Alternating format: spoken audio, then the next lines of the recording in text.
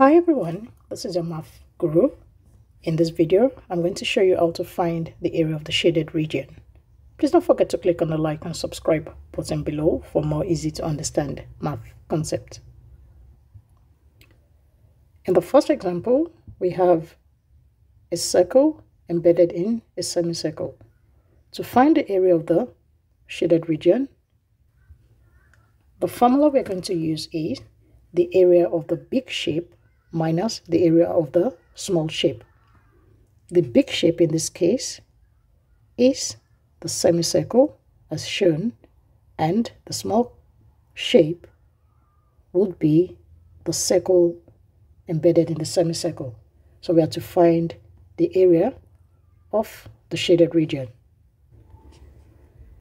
The formula for finding the area of a semicircle, that's half of a circle, will be pi r squared, that's the area of a circle, divided by 2, minus the area of a circle, pi radius squared.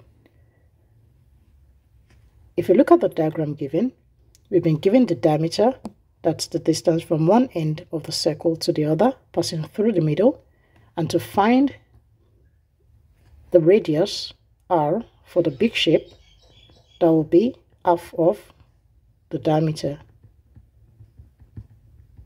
that's equal to half of 9.6 centimeters. Therefore the radius is equal to 4.8 centimeters. So for the second circle we have the circle touching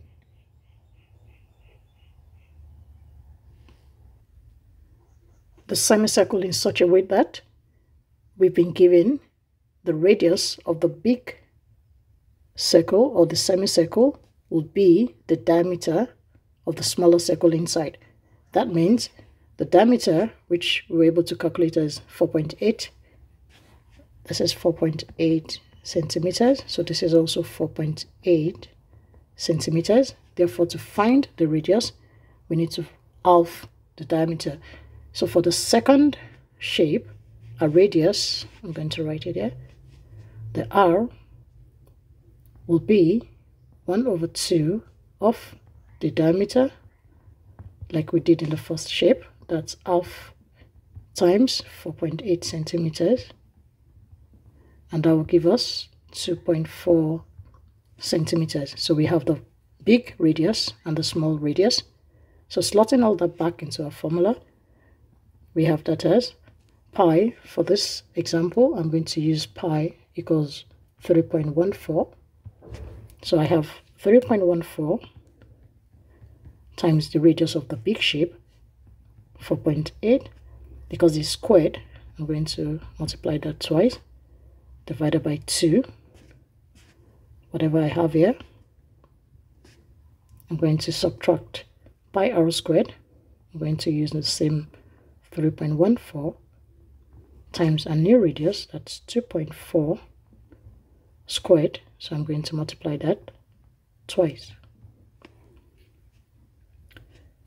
If I punch that in, I'm going to have 36.1728 minus 18.0864.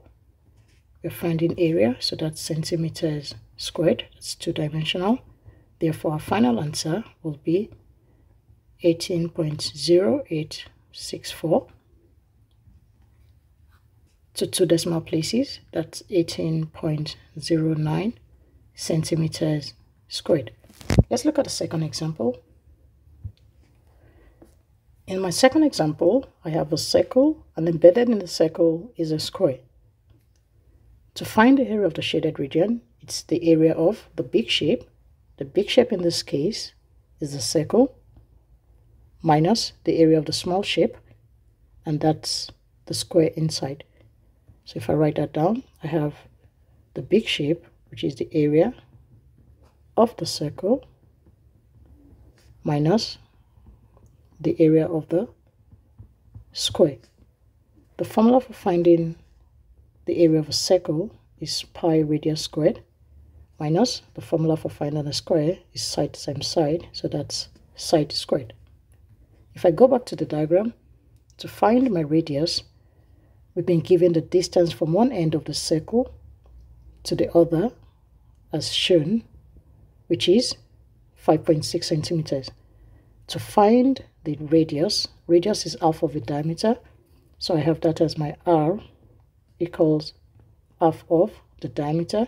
Remember, the diameter is the distance from one end of the circle to the other, passing through the middle, while the radius is the distance from the middle to any part of the circle. So I have that as half of 5.6 centimeters,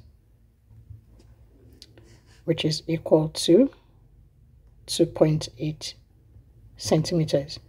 Likewise, we've been given the side or the distance or the length of the square, which is 3.1 centimeters. So putting that back in, I have the area of the shaded region. For this example also, I'm going to use pi equals 3.14.